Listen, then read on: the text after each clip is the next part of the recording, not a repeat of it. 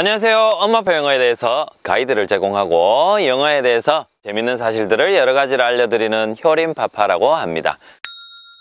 자, 오늘 제가 알려드릴 표현은 flex입니다. 아시죠? 이렇게 돈을 확 뿌리고 싶은 어, 여기 보면 잔디가 flex이지 않습니까? flex라는 말에 대해서 오늘 한번 알아보도록 하겠습니다.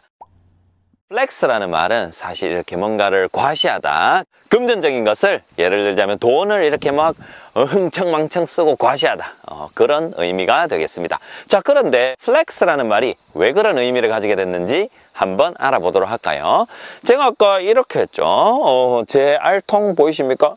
음. 제가 이렇게 딱 까서 보여드리고 싶지만 사실 이 안에 어마무시한 어, 그런 것들이 들어 있습니다 어, 상상에 맡기겠습니다 자 어쨌든 이렇게 어, 헬스장 가면 이렇게 이렇게 하지 않습니까? 자, 이 안에 있는 이두근이 이렇게 딱 튀어나오잖아요. 이거를 과시하는 것입니다. 그래서 팔을 어떻게 했습니까? 팔을 이렇게 딱 구부렸, 구부렸, 구부렸을 때 이렇게 이두근이 탁 튀어나오잖아요. 그래서 플렉스라는 말 자체는 제가 이제 방금 한 것처럼 구부리다 라는 의미입니다. 팔을 구부렸을 때 이걸 딱 알통이 딱 튀어나오는 걸 보고 그래서 남들에게 과시하다라는 의미가 생겨나게 된 겁니다.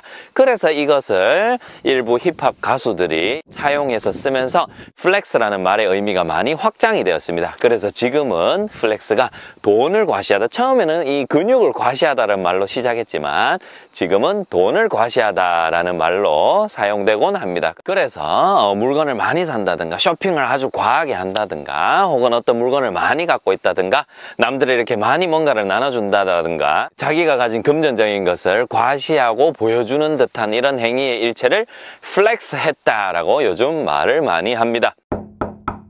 자 그러면 우리 여기서 멈추지 않고요. flex라는 말이 들어가는 단어를 두 개를 더 알아보도록 하겠습니다. 어, 첫 번째 단어. flexible 이라는 단어입니다. 제가 무엇을 준비했냐면 어이, 우와 이렇게 긴 막대를 하나 준비했습니다. 자 근데 제가 이거 막대를 구부려 보겠습니다. 잘 안되네요 물론 제가 알통 있지만 잘 안되네요 막대가 구부려지면은 어, flexible, 구부릴 수 있는 이라는 뜻입니다. 그래서 flexible 이라는 의미는 구부릴 수 있는 거기서 의미가 조금 더 확장을 시켜서 구부릴 수 있다라는 말은 융통성 있는 이라는 의미가 됩니다. flexible 할 때 ABLE, IBLE는 할 수 있는 이라는 의미가 되어서 flex와 ABLE가 합쳐져서 구부릴 수 있는 그래서 융통성 있는 이라는 말이 됩니다. 두 번째 단어는 reflect입니다. re는 다시라는 뜻입니다. 한번 예를 들어 볼까요? 제가 팔을 이렇게 구부렸습니다. 그러면 re는 reflect라고 하면 이렇게 다시 구부린 것을 펴주는 것이 됩니다. 그래서 뭔가 구부렸다가 다시 펴준다라는 의미에서 반사하다, 되돌려주다라는 의미가 되겠죠. 자 그래서 flexible, 융통성 있는 reflect는 다시 구부려 준 것을 펴준다는 의미에서 반사하다라는 의미가 되겠습니다. 자 그럼 오늘은 flex와 flexible, reflect에 대해서 한번 알아보았습니다. 다음 시간에 또 뵙도록 하겠습니다.